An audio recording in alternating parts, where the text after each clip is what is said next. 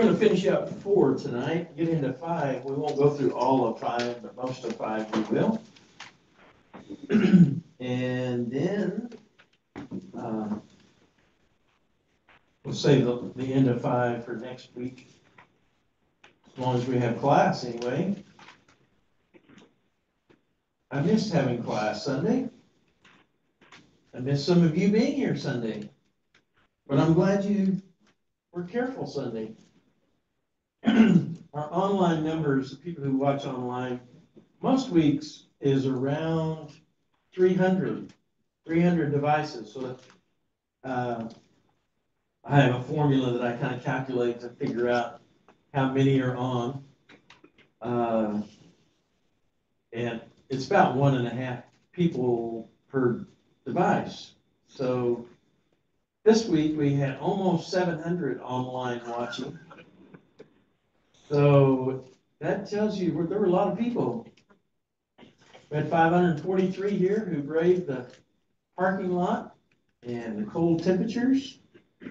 And, but we had a great day Sunday, but we missed some of you as well. So that, that's just the way it goes sometimes. And I want you to be safe. We don't need any more broken hips or arms and elbows. Like a, a crazy person, I, I pushed my son and grandkids down the street the other day and I wanted them to go real fast. And right at the end, I pushed and then I tripped. And I hit, hit my elbow and I thought, oh, that wasn't a good idea. So I need to listen to my own advice sometimes though. That's the way, that's the way it goes. Uh, overall theme tonight is uh, high priest or the great high priest, and we're going to talk about Melchizedek, but he's going to be in several chapters that we go along here on, but pretty well on priesthood. And so that's the that's kind of the main focus uh, this week is Jesus is part of a great. He's a great high priest. There's uh, no other great high priest. There are high priests, but he is the great high priest, and there's none like him. And so we, as uh, Christians, put all that together and realize just how blessed, what a good opportunity it is, what a great blessing to have a high priest like Jesus. And so don't get discouraged, don't give up. Things are tough. It will feel like the world is against you, like it did in the first century. Uh, things will get difficult, but look at the bright side. Look at the good, good side. Look, look at what God is doing. And that, that's the real key thing. As we talk about priesthood, uh, in the Old Testament, there were obviously uh, God, under the law of Moses, planned for priests and high priests and all those regulations. Before the law of Moses, there were no priests, so to speak, other than like Melchizedek. Uh, sometimes it was really kind of uh, they represented themselves to God. God represented himself to them directly. But Moses, under Moses' law, that changed. And obviously, in the new covenant, that changed as well. And Christ is our high priest. And I say all that to think, it reminds me that unless you're reading through the Old Testament, you're in Leviticus right now, you kind of forget about what priesthood and that representation is all about. Now, as Christians, you and I are royal priests. We are a part of a royal priesthood. And so maybe talking about priesthood and some of those things will spark a little thought in your mind and think, put you through the thoughts of, of thinking. Uh, because to a large extent, I feel like in as Christians, we kind of are like, there are no priests today, that type of thing. Uh, and we forget that we are part of a royal priesthood. Uh, but we, uh, you know, we fight denominationalism where there are priests and that type of thing. So we, we, uh, we kind of put that on the back shelf and we don't think about how there are a connection between God and us. There are these priests that that uh, do certain things. Obviously, we go directly to God as priests under the new covenant. So anyway, that's just a little bit to get the, the wheels spinning, hopefully, in your mind and thinking about priest. Uh, the Hebrew writer brings it up to, just again, to remind us of the great high priest we serve. So Frank's going to read chapter 4, verse 14 through 16, and then we'll pause and talk about that. This list is gonna be under the, uh, heading of the high priest. Our compassionate high priest, that's what I'm trying to say, our compassionate high priest. Seeing then that we have a great high priest who has passed through the heavens, Jesus, the Son of God, let us hold fast our confession. For we do not have a high priest who cannot sympathize with our weakness, but was with all points tempted as we are, yet without sin. Let us therefore come boldly to the throne of grace, that we may obtain mercy and find grace to help in time of need. All right, I like the word boldly. We need to talk about that a little bit at some point. Uh, So what stands out to you guys when you read that?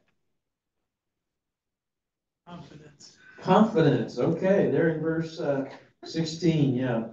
And I think that's probably where the King James uses the word boldly. Let us come with confidence, come to his throne of grace with confidence.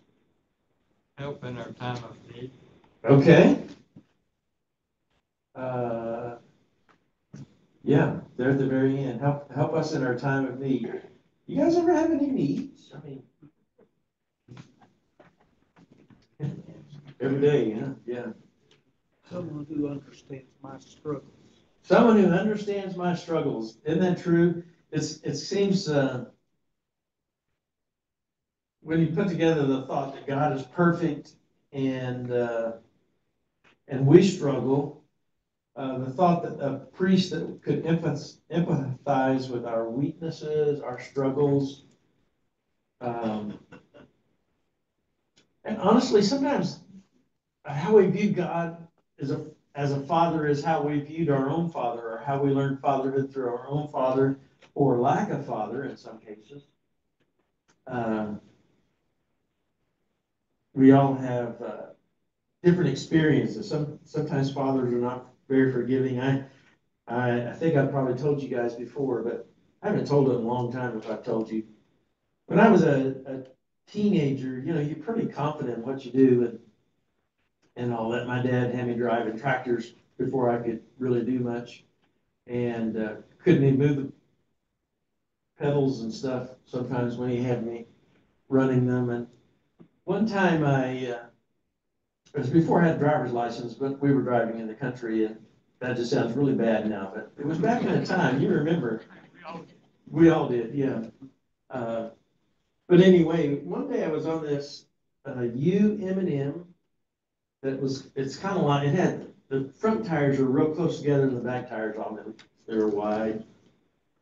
And that tractor, it had five gears, and in fifth gear, it would go thirty-five miles an hour.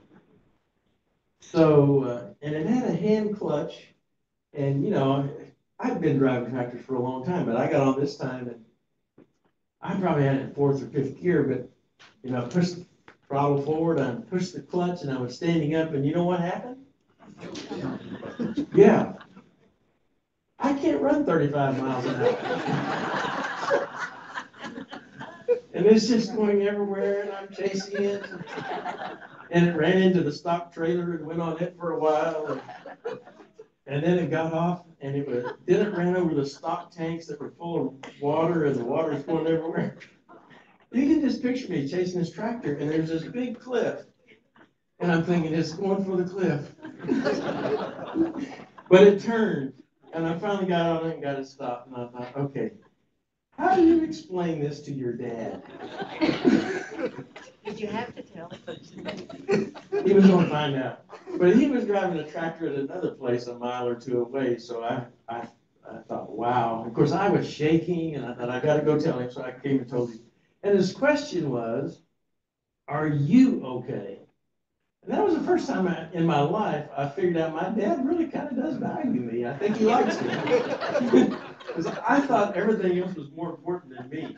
They just worse there. Yeah, go ahead. This, this is, this is, this is, uh, this, this Kevin. Let us therefore come boldly to the throne of grace. may obtain mercy and find grace to help in time of need. Yeah, yeah, that's, that's right. Well, and that, that, uh, did change my life drastically, the fact that my dad treated me that way, because I thought I did damage to the stock trailer, the stock tanks, and uh, all kinds of things, you know, and, and the, the water thing, we'd fill up the stock tank, it bent it over too, so I thought, this is bad. But, uh, God does understand us, and He does, He is there. Wiley? What if we don't approach the throne of grace with confidence? I, uh, I, I think as long as we approach the throne of grace, even if we come fearfully, I think that that's a good thing. But we do need to, be rewarded with these good measures, these benefits, if we don't, if we aren't confident when we Yeah. offer the prayer to him. I, I think we do, although James, you know, said we should ask in faith without doubting. Um, But the, the reality is when we have it all in, in the right perspective, we can come to the throne of grace with confidence boldly. Uh, and God many will. That don't. Yeah, and it's unfortunate, that's why I was kind of saying, the father that we picture God the Father as can hinder us from approaching him in a confident way. But if we really understand who God is, we can't approach that way. Fred, and then we'll come back to Harlan. Go back to the first high priest. Yeah. And he was speaking to God in tabernacle on behalf of the people. This is a guy who just got through saying, I threw the gold in the fire and this calf came out. Yeah, How much confidence would you have in a high priest like that? yeah, good point. Okay,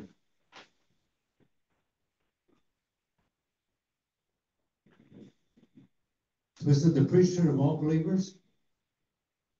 say that again, the first part. We're part of the priesthood of all believers?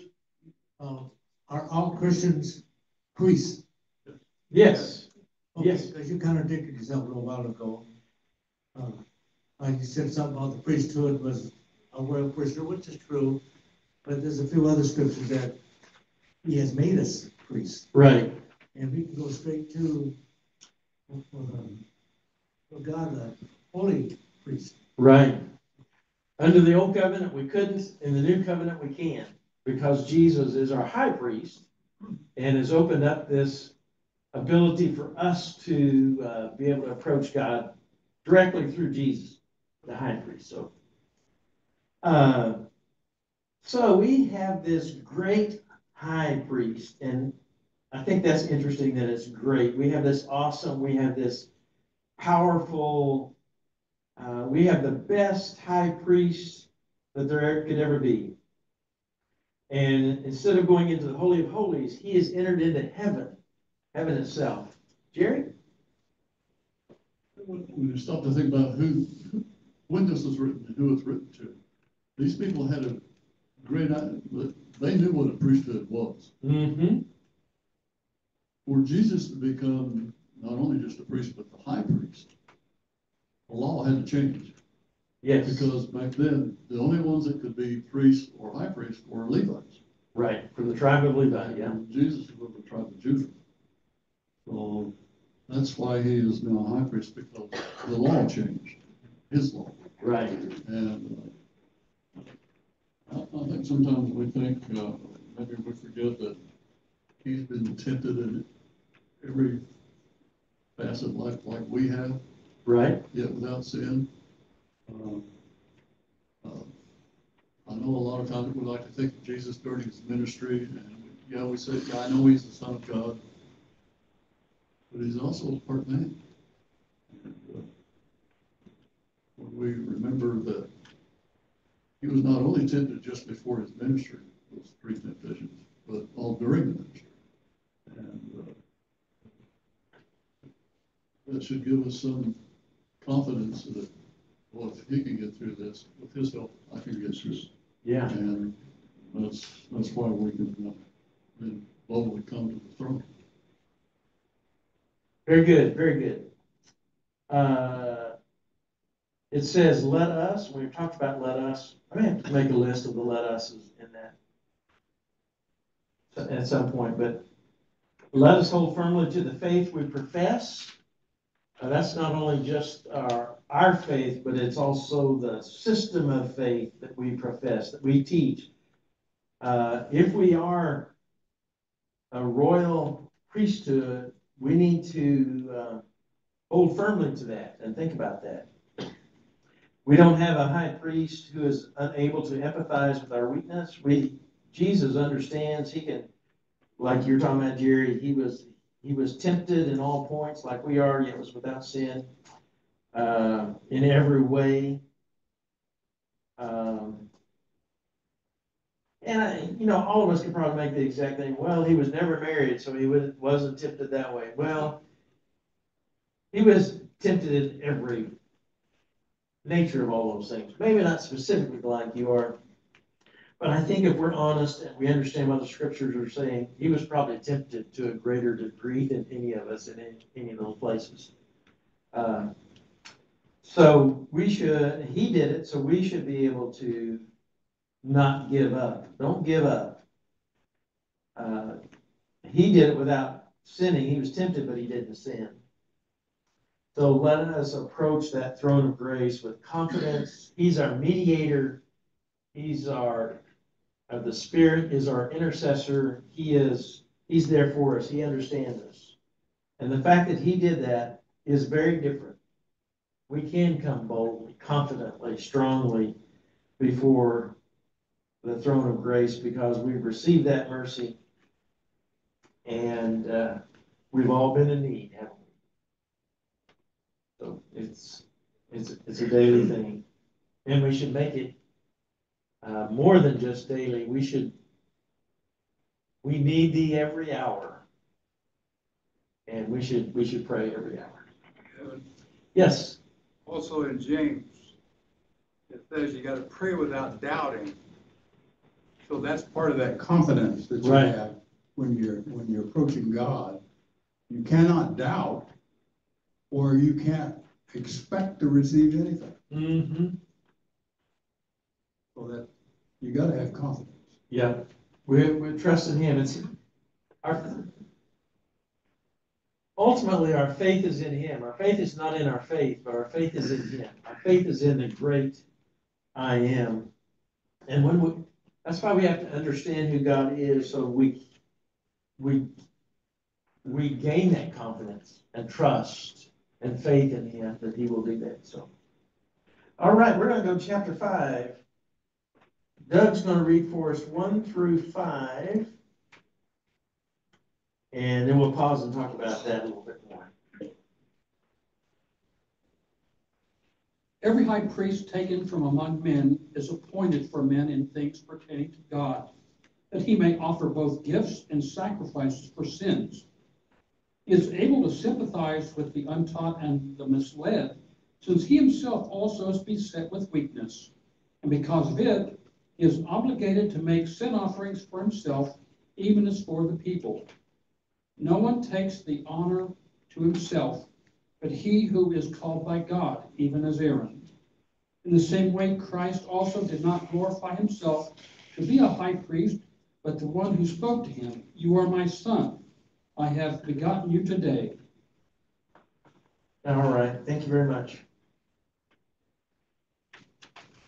I'm looking for the word, there we go, verse four, called, called by God. Uh, The beginning priests obviously were uh, the Levites, and it was kind of passed down. The high priest was the, the oldest son of the firstborn. It was just the firstborn after the firstborn after the firstborn, so who continued to do that. Uh, I kind of think of, of, of England and their kings and all that kind of stuff. Um, But that's the way you became a priest. You couldn't just say, I'm, I'm gonna be a priest. God put into place a system and it, it just continued down that way.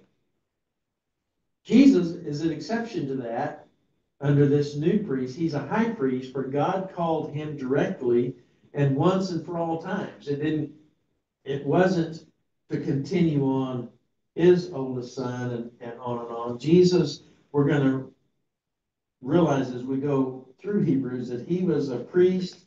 His sacrifice was once and for all time. His, his sacrifice was great enough that it lasts forever. Uh, because it was the blood of Jesus and it- he was the high priest. So every high priest is selected from among the people and is appointed to represent people in matters related to God. So there's this connection, this this uh, mediator role between God and people, and Jesus was perfect for that because he was the complete man and complete God, all in one. Jerry? Didn't the high priest have to be a descendant of Aaron? Um, Priest, priest could be any Levite, but the high priest. Right. Didn't he have to be a descendant of Aaron? I think that's right. That's my understanding. So, uh, not just any Levite could say, I'm gonna be high priest. Right, Are you a descendant of Aaron? No, well, then you can't be. right. Uh, God put that system, and that system had to continue on, and, I mean, he didn't change that system once he put it in. Yeah. Uh, yeah, there were, there, there were other priests, but the high priest had to be that one, uh, continually down through the time. Uh, and they represented God and people to each other. Um, and he is able to deal gently with those who are, NIV says ignorant. I'm trying to think what yours said, Doug, yours said, yours was kind of like uninformed, what was it? Is there another translation there in verse two? Those who are Spiritually ignorant. spiritually ignorant, okay, and going astray since he himself is subject to weakness. Uh, Jesus is able to deal gently with us. I mean, we all do some, uh, I hate to worse, use that S word, but we do some, we do some silly stuff, don't we? And we kind of even surprise ourselves sometimes. Frank? Kevin, you were talking about just exactly how high priest we have. I'm reading from Revelation, the uh, twenty-second chapter, verse one. But I saw no temple in the, where the Lord God Almighty and the Lamb are its temple. Our high priest is above the temple, not in the temple, but above the temple. He is the temple. Very good. I, I wish I, I could help us all understand just what, how great and awesome of a high priest. He's the one and only. He's the, there's no other like him. And he was the perfect one. Um, It's kind of like asking, could God have picked something else as a sacrifice? And he couldn't. There's no, I, I think we have to realize that God picked the perfect sacrifice, the one and only that could.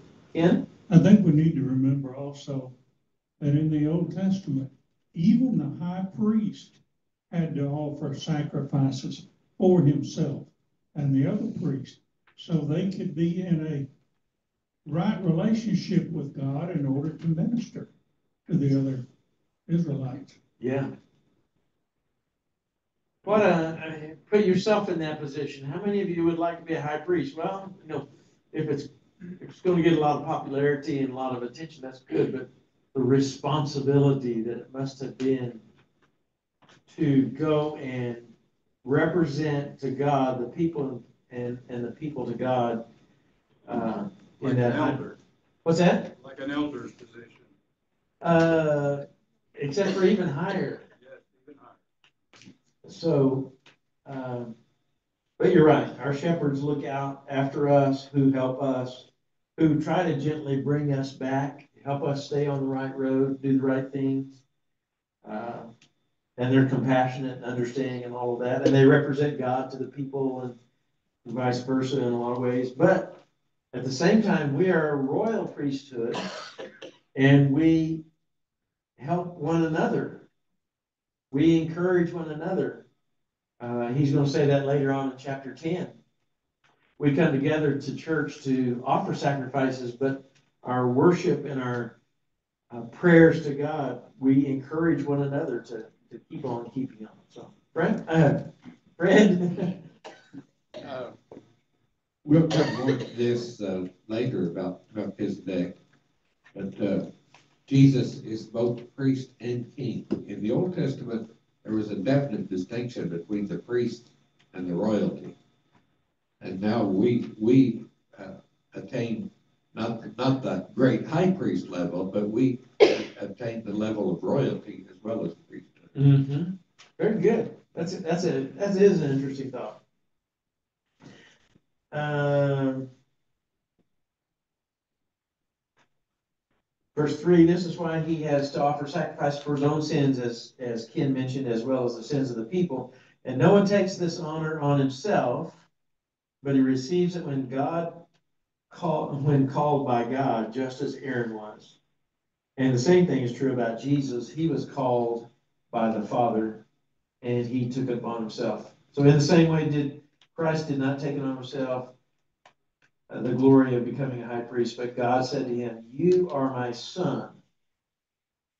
And in Scripture, I can't emphasize enough how strong of a comment that is. He's more than just a a, a priest or whatever. He is my son. Today I have become your father. And that's a quote out of Psalm chapter two, I think, verse seven. So what a great high, high priest we have, and uh, the Hebrew writers trying to help the these Hebrew people understand what a great, amazing, perfect high priest we have through Christ. The last section, Ken's going to read for us six through ten, and then we'll talk about that. And it says in another place, you are a priest forever in the order of Melchizedek. During the days of Jesus' life on earth, he offered up prayers and petitions with fervent cries and tears to the one who could save him from death. And he was heard because of his reverent submission. Son though he was, he learned obedience from what he suffered. And once made perfect, he became the source of eternal salvation for all who obey him. And he was designated by God to be a priest in the order of Melchizedek. All right, thank you very much. Um, I like it that the Hebrew writer said, and he says in another place, he doesn't tell you where to find it, he just says, it's in there somewhere. So if the preacher ever says, God says in another place, then that's good. Um, yes, As I was reading this, something jumped out at me. okay, when it's talking about the prayers, petitions with fervent cries and tears to the one who would save him from death. Think back to the time when he was in Gethsemane praying. And the Bible mentions something called a bloody sweat. Uh, under intense emotional pressure, the tiny capillaries, blood vessels that we have can break and burst. And so the blood would be coming out the pores like we sweat. And Jesus was so intense in his prayer that this was what was happening. Mhm. And we have a number of prayers from Jesus that are recorded in scripture, so that's, that's a good, good thought to all the one, different ones that he had. Uh, we mentioned Melchizedek, I tried to put some information on the back. And that's, that's very, kind of a short, is that a compact Bible encyclopedia, I think is what it's called. There was about enough words that would fit on that page, so I shows that, but there's a lot more information. And yet, when you try to find out information about Melchizedek, it's kind of, kind of hard.